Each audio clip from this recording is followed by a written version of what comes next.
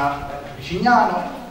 Praticamente siamo alla settima tappa, al settimo, uh, settimo anno, settima edizione del Festival dell'Impegno Civile e abbiamo accolto l'invito fattoci dalla rete del Comitato Diana, l'associazione libera, che praticamente annualmente eh, tengono questo festival che si tiene interamente sui beni confiscati alla Camorra proprio per incentivarne l'utilizzo, l'apertura, le riqualificazioni e appunto la consegna di questi beni alle, alla comunità. Quindi io voglio dire questa sera che è importante che i cittadini siano tutti uniti queste piccole battaglie, queste piccole battaglie quotidiane che sono utili a riscattare questa società che da, per troppo troppo tempo è stata martoriata. Per troppo troppo tempo siamo stati costretti in, nelle nostre realtà uh, ad essere incatenati a, uh, diciamo alla barbarie, ecco. siamo, per troppo tempo siamo rimasti incatenati alla barbarie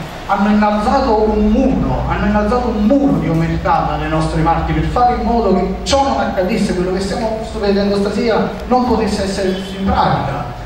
Hanno innalzato delle barriere, ci hanno messo delle catene, ci hanno messo il bavaglio, perché in realtà oggi se possiamo parlare, possiamo raccontare certe cose è perché in un certo qual modo i cittadini, grazie allo Stato, possono, oggi possono in un certo qual modo agire in, per il bene della comunità e in questo senso contro determinate realtà che ci hanno oppresso fino ad oggi.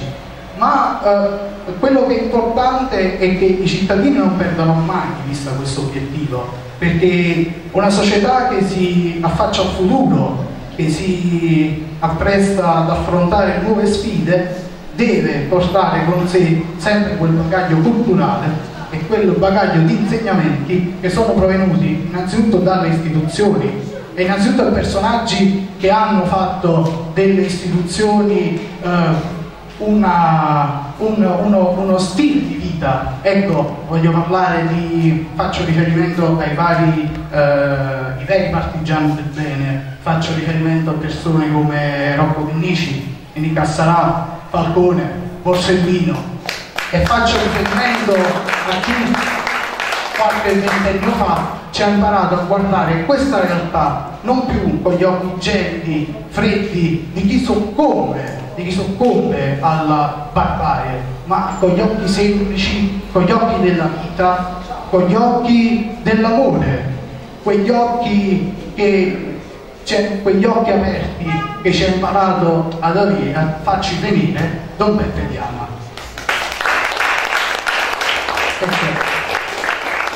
Quindi io dopo uh, questa breve introduzione voglio lasciare la parola al sindaco, il dottore Andrea Moretti. Eh, io voglio portare il mio breve saluto e eh, mio dell'amministrazione comunale che mi onore di, di rappresentare e fare naturalmente i complimenti a Francesco, Francesco Barbato e a tutti quanti gli altri e a tutto l'associazionismo presente sul territorio che eh, si prodigano per eh, tirare fuori questi argomenti che sono di una valenza sociale assai importante per la crescita di una comunità.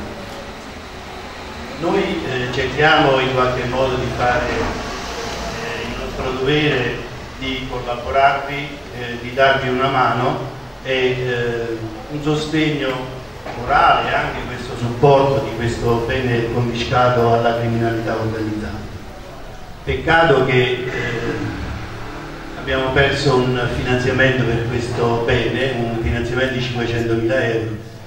e purtroppo insomma, ci penalizza un po' perché eh, c'era l'intenzione di sistemare per bene questo, per bene, questo bene, questa, questo stabile e far sì che potesse essere utilizzato ancora meglio. Lasciamo stare le polemiche e la dietrologia su quello che è successo, che, perché purtroppo c'è stata una fase di passaggio tra uh, la commissione straordinaria e la, la nuova amministrazione, per cui diciamo, non ci siamo eh, diciamo, coordinati bene. E quindi c'era la fretta da parte del Ministero dell'Interno per, perché questi progetti io so che se non vengono realizzati dal punto di vista proprio tecnico eh, tutte le procedure con una certa eh, celerità poi succede che naturalmente la fanno da padrone altri vengono riassorbite per poi essere utilizzati per altri, per altri beni sempre con questa finalità. Ringrazio il Sindaco per eh, la descrizione un po' di quello che è il quadro attuale del, del Paese, un po' di tutta la realtà dell'anno. Apriamo questa seconda parte, a me tocca, fare, tocca l'ingrato compito di fare il, il, moderatore di questo breve incontro, io già sto seduto dall'altra parte, loro lo sanno, dall'altra parte questa, sta oggi mi trovo a moderare gli incontri di persone che ho imparato a conoscere un po' nel corso degli anni e nella frequentazione del festival. Ehm, prima di iniziare però vi chiedo, su suggerimento anche degli amici presenti qui oggi, di qualche secondo di raccoglimento per eh, il pensionato Mariano Fottari che oggi è stato ucciso a Portici nell'errore, perché il Festival dell'impegno civile è un non a caso quest'anno si, si freggia del, dell'hashtag storie per bene. Purtroppo noi abbiamo tante storie per bene che esistono su questo territorio che non sono solo quelli che, che si impegna per poter costruire una realtà alternativa a quella che ci è stata restituita dal, dal dominio dei clan, ma è anche quello di chi ha pagato in maniera innocente la presenza di queste forze di criminali sul territorio. Quindi vi chiedo 30 secondi di raccoglimento per eh, questo pensionato di Portici che è stato ucciso per errore.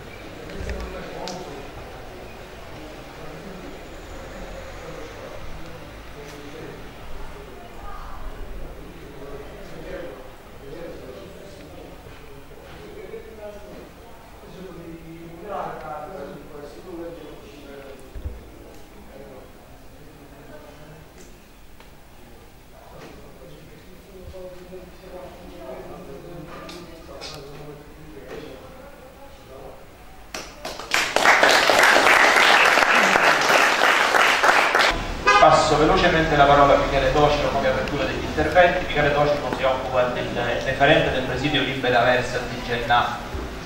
che ricorda appunto Gennaro Diana. Eh, faccio, lascio la parola a lui per descrivere un po' eh, le attività che portano avanti col presidio Libera, ma non solo, è una realtà abbastanza variegata come presenza sul territorio, quindi lascio direttamente la parola a Michele per descrivere un po' quali sono le attività che loro fanno come presidio, come associazioni, con le realtà di cui fa parte e come eh, presenze di altre associazioni eh, che sono sul territorio possono mutuare queste esperienze e quindi replicarle nei propri comuni. Grazie, grazie Vincenzo. Al di là dell'intercalare inizierei proprio l'intervento con questa parola. Mi ricordo che viene, viene quasi spontaneo iniziare e dire bene. Quindi bene, eh, siamo all'interno un bene confiscato. Oggi parliamo di bene comune, quindi stiamo, stiamo bene. Noi, io sono, sto ancora più bene perché eh, questo festival del, dell'impegno civile di quest'anno eh, mi ha dato una possibilità che non ha dato a molti altri che fanno parte dello staff del festival, è quello di partecipare all'apertura per la prima volta al pubblico di due beni confiscati, quello di Severola che è chiuso, chiuso da anni e finalmente, è finalmente restituito alla, alla cittadinanza con una tappa del festival dell'impegno civile appunto e oggi mi trovo qui alla, alla prima apertura di quel portone. Forse è stato già aperto quel portone ma per la prima volta c'è tanta, c'è tanta gente qua dentro tanta gente che ha deciso di liberare il bene ha deciso di stare bene e di stare nel bene eh, Zigennato, dicevi, prima si parlava, si parlava appunto di parlando di bene comune, ci sono cose che sono comuni a tutti quanti noi, ci sono cose che dovremmo condividere, perché quando è comune è di tutti. Vedo la maglietta, partigiani del bene, anche questo dovrebbe, dovrebbe in certo modo, eh, dobbiamo condividere tutti quanti. Dobbiamo condividere il fatto di essere tutti quanti partigiani del bene. Tutti quanti noi dobbiamo nel nostro piccolo fare, fare le, nostre, le nostre battaglie nessuno di noi deve prendere la sciabola in mano e gridare avanti da voi sulle barricate o dire eh, o fare tante altre cose, sfidare di persona, di persona i criminali. Da Aversa ad Aversa passiamo, prima Michele parlava degli ordini sociali, come chiedere consiglio a Giuliano Ciano che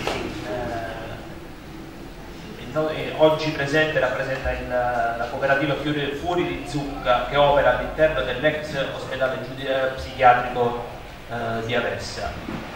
Un bene che andrebbe rivalutato, eh, riprendo un po' la citazione della parola di cui parlava Michele prima, un bene che andrebbe rivalutato e che andrebbe riconsegnato alla collettività ma che invece purtroppo sta cadendo a pezzi anche in questo caso per effetto di eh, trascuratezza a volte che si ha nei confronti di beni che sono anche dal punto di vista artistico potrebbero dare tanto, che però in qualche modo vengono abbandonati alla loro sorte senza sapere che potrebbero veramente rappresentare un presidio non solo di legalità ma anche eh, culturale, turistico e quant'altro. A Giuliano chiedo rifacendomi pure alle indicazioni che magari chiedeva Michele per poter portare avanti gli orti, quali sono le difficoltà per voi che operate all'interno di una struttura e che vi eh, cercate di eh, recuperare anche eh, con l'esperienza po' più ampia della nuova cucina organizzata prima, cooperazione organizzata poi, eh, figure, non è un caso che voi trovate all'interno dell'ospedale psichiatrico, figure che, come quelle dei cosiddetti malati di mente che in qualche modo hanno ritrovato una nuova vita attraverso le attività che hanno portato avanti non solo con uh, l'esperienza di Zucca, ma così come potremmo raccontare la NCO di San Cipriano, piuttosto che Maiano di Sesso Urunco con uh, l'esperienza di Simaco Perillo. Quali sono le difficoltà che si incontrano nell'operare uh, in questo settore che però sono a quanto pare ben bilanciate da grosse soddisfazioni come quelle che vi sono venute ad esempio nel caso di un qualcosa che del far parlare Salve, va in bene. Eh, io sono Giuliano, eh, sono socio e lavoratore e presidente della cooperativa Ampere per la Vita, gestisce la fattoria sociale Zucca, che si trova all'interno dell'ex manicomio civile d'Aversa. In effetti non so se l'avete mai visto, se l'avete mai sentito, mai passato. C'è stato, siamo a posto. C'è stato. Eh, sono 4 ettari di terreno eh, e c'è una struttura, un immobile che fa parte della struttura dell'ex manicomio, alla quale abbiamo preso un fitto più o meno intorno al 2005-2007, eh, facendo insomma, seguire dei lavori di ristrutturazione con soldi privati, insomma abbiamo fatto mutuo eh, tutti i soci per poter affrontare questa spesa. Ci teniamo a dirlo perché non sono stati utilizzati i soldi pubblici per la creazione di, di questa iniziativa. E lì praticamente facciamo un'esperienza di cooperazione. Quindi siamo un'impresa cooperativa di tipo B, che significa che si occupa di inserimento lavorativo di persone svantaggiate, eh, anche se adesso lo siamo un po' tutti, no? una volta si parlava dei più ultimi, noi ci sentiamo molto spesso i penultimi e cadiamo nelle logiche dire, del mercato, dell'ultimo, del penultimo, perdendo di vista una cosa in particolare, che quello che si occupa un po' tutte le realtà no? di cui tu citavi è uh, la questione delle persone, cioè ritornare semplicemente a considerare ognuno di noi una persona. E allora sei un attimo disposti cambi un attimo angolazione no? nel vedere quella che è la realtà del quotidiano, inizia a vedere tutti come semplicemente persone, inizia a vedere che molto probabilmente hanno bisogno di qualcos'altro, hanno bisogno molto probabilmente di quello che hai bisogno tu, o di quello che avrebbe bisogno qualunque cittadino, qualunque persona che ha dei diritti nella nostra comunità. E quindi ci siamo iniziati a chiedere che cosa avevano bisogno le persone quindi avevano bisogno di, di relazioni, no? di affettività, avevano bisogno di una casa, avevano bisogno di un lavoro, avevano bisogno di iniziare con la propria comunità un percorso che potesse portarli a una restituzione di dignità che passa attraverso le cose semplici, la normalità, la normalità del quotidiano. Grazie Giuliano per l'esperienza, vi invito a chi non lo avesse fatto a fare un giro nella fattoria per mangiare magari, ma anche per fare una semplice visita, capire un po' di quello che stiamo parlando, proprio a proposito del fare e non del affidarsi solo ai racconti. Giuliano parlava di mettersi insieme, il comitato Don Peppe Diana eh, è diciamo una replica in piccola scala di quello che è Libera, cioè questa serie di eh, realtà territoriali che mette insieme tutte queste esperienze e cerca di costruire praticamente il bene comune, come diceva anche Michele. Prima abbiamo sentito parlare di date, Valerio. Michele ci ha detto che sono sette anni che operano sul territorio. Giuliano parlava di una cooperativa operante dal 98 2005 presenti nella... cioè serve pazienza per poter fare eh, le iniziative, poter portare le proprie esperienze e farle bene. Cosa manca oggi? Se manca qualcosa e pensiamo che manchi ancora qualcosa per poter fare il passo successivo nella costruzione di una rete come quella che in 20 anni si è costruita attorno al comitato Don Peppe Diana dopo la morte di Don Peppe, quali sono le difficoltà principalmente che si incontrano nel poter fare rete e quindi nel mettere insieme esperienze ce lo può dire solo Valerio Taglione insomma che in questa sede forse è quello che ha un po' più esperienza da questo punto di vista. No, eh, grazie a tutti. Anzitutto ringrazio Francesco l'associazione Arcadia la cooperativa, la cooperativa German e tutti quelli che hanno voluto fortemente questa tappa del Festival dell'impegno civile che è frutto appunto di quei semi che ogni tanto il Comitato Ondiana sparge attraverso anche momenti di formazione, perché è importante il fare, ma è importante anche l'incontrarsi, anche lo studiare, il conoscere, il capire. E Francesco penso che abbia partecipato ad un corso di formazione che abbiamo fatto insieme con Assovoce, il centro di servizi volontariato di Caserta, qui abbiamo formato eh, settembre scorso un centinaio di cittadini di tre centri di servizio a Santa Maria Bico, a Caserta e a Casal Principe, aiutandoli a capire che cos'era un bene confiscato, come si poteva fare per utilizzare, insomma sono anche diciamo, i frutti di un percorso che negli anni, diceva Enzo, stiamo facendo. Il Comitato Andiana nasce ufficialmente il 25 aprile del 2006, ufficialmente, lo dico perché abbiamo scelto poi il 25 aprile perché pensavamo che dopo tanti anni di resistenza potessimo parlare di liberazione dalla Camorra. Perché noi il 25 aprile del 2006 pensavamo di, essere, di aver iniziato quel percorso che dalla resistenza ci stava portando alla liberazione. Il Comitato Andiano nasce il 21 realmente nasce il 21 marzo del 1994 cioè esattamente il giorno in cui diceva il sindaco, quella piazza davanti al cimitero 20.000 persone più stettero, assistettero ai funerali del, di Don Peppe Diano, poi come succede nella maggior parte dei casi 19.900 se ne vanno perché finisce la cerimonia